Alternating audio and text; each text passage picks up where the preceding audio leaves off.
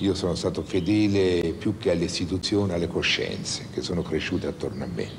Per cui ho avuto una specola di osservazione del mondo che non è lo studio, la biblioteca, ma è questa coralità umana, questa specie di scambio che c'è anche quando tutti sono zitti, fra me e le coscienze altrui. Quindi ho seguito mutamenti del mondo in questo specchio della, della comunità eucaristica. Detto questo, eh, mi, la domanda che mi viene posta è molto grave, ma io rispondo con molta sincerità.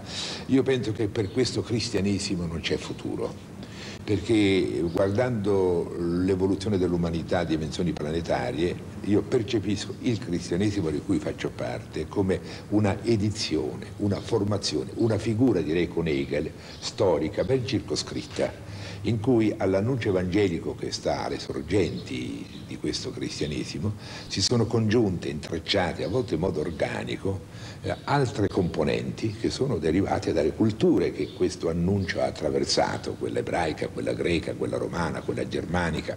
Ma se io confronto questa modalità storica della fede con le attese delle altre culture mi accorgo che questa modalità non ha universalità. Allora io teorizzo anche nei miei libri faccio questo, la, il superamento delle religioni, non la distruzione, perché per la prima volta nella storia umana, la prima volta, le religioni monoteistiche che sono vissute insularmente dentro le loro rispettive culture sono convocate a un confronto estremo. Quella che Voitiva chiamava la sfida trascendente della pace, l'incontro di Voitiva ad Assisi con le grandi religioni, per me ha un valore emblematico, perché in quel caso anche il Papa di Roma, invece di confrontarsi con la sicurezza di avere la verità con le altre religioni, ha invitato sé e le altre religioni a confrontarsi con chi? Nemmeno con Dio, con l'uomo minacciato di estinzione.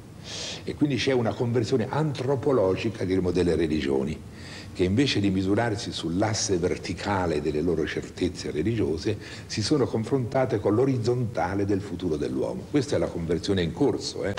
e tutto questo non può che mettere in contestazione le religioni che sono cresciute dentro una cultura di aggressività. Siamo nel 1992, a 500 anni dalla, dalla scoperta dell'America, dalla conquista dell'America che fu eh, lo sterminio dell'Indios e che fu anche per la Chiesa Cattolica un grave crimine contro il Vangelo, perché il Vangelo fu portato con la spada. Quindi la Chiesa è chiamata a ripensare alla sua storia liberandosi da ogni memoria apologetica per riconoscere le proprie colpe nelle guerre del passato, che sono state sacralizzate spesso, e per aprirsi al compito della pace nel pianeta, che oggi è una condizione di sopravvivenza, perché questo è il fatto nuovo. Quando l'uomo d'oggi cerca salvezza, non cerca la salvezza dell'anima, cerca la salvezza totale. E allora le religioni che fanno? Esortano a pregare Dio oppure si impegnano a mobilitare tutte le energie dello spirito perché l'uomo finalmente avvii un capitolo nuovo della sua storia, che è il capitolo della pace, in cui si espunta dall'umanità la legge della forza come strumento del diritto, come strumento di verità. Ora questo è un capitolo totalmente nuovo per le religioni monoteistiche il cui Dio gronda di sangue. Più o meno, io non metto, anzi chiedo scusa se metto insieme buddismo ad esempio in cui la non violenza è stata sempre così importante e islamismo che so io, però grosso modo dobbiamo riconoscere le religioni sono state subalterne a culture fra loro aggressive. Il tempo nuovo è il superamento delle religioni e quindi anche del cristianesimo così com'è che deve rigenerarsi perché per me questa fine non è una morte, mi viene a mente il motto evangelico, se il, non, il chicco di grano non muore non darà frutto. Questo cristianesimo deve morire per dare frutto.